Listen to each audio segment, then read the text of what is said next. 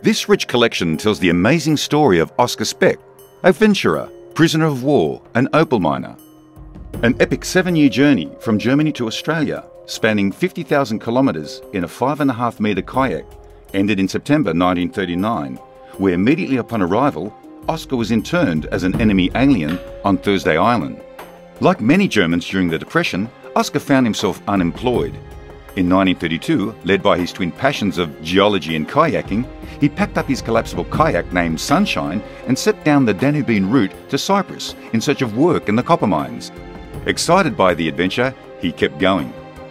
His journey led him from the Mediterranean Sea down the Euphrates River along the Persian Gulf to Pakistan.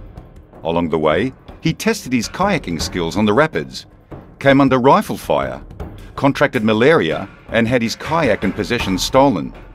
Undaunted, Speck continued around the shores of India to the Bay of Bengal, meeting Maharajas and even bribing a local police officer to ensure the return of his property.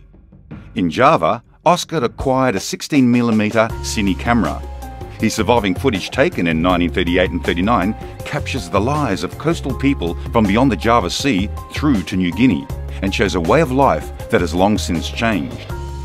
Crossing Dutch New Guinea, Oskar paddled around its extensive coastline, filming Melanesian communities along the way. On reaching Australia-administered Papua New Guinea on the 5th of September 1939, he learnt that Australia was at war with Germany Local police officers sportingly allowed him to continue into Australian waters to Thursday Island so that he could realise his dream of reaching Australia. Upon arrival, he was arrested as an enemy alien and spent four years in internment camps. Freed at the war's end, Speck remained in Australia and only days after his release, he set out for Lightning Ridge, New South Wales to go mining for opals. As one journey ended, another Speck adventure was about to begin.